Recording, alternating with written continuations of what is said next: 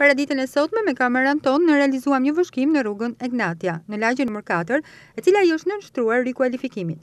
Pamjet tregojnë që punimet nuk kanë përfunduar, megjithatë në terren nuk ka punëtorë. Projekti edhe në këtë rast është bazuar në ngushtimin e rrugës dhe zgjerimin e trotuareve. Këta të fundit krijojnë jo pak vështirësi për lëvizjen e këmbësorëve. Në tabelën informuese përcaktohet se zhvillues i projektit është Fondi Shqiptar i Zhvillimit dhe vlera kap shifrën njëqind e tetëdhjetë e nëntë milionë e nëntëqind e dhjetë mijë e zero shtatëdhjetë e tre lekë me TVSH. Përveç këtij segmenti do të rehabilitohet edhe rruga Dëshmorët. Bazuar në pamje duket se në këtë sipërfaqe punimet janë lënë përgjysmë për t'u zhvendosur në sheshin Pranvera. ndërsa nuk dallohet asnjë punëtor apo mjet që do të mundësonte vijimësinë e punimeve.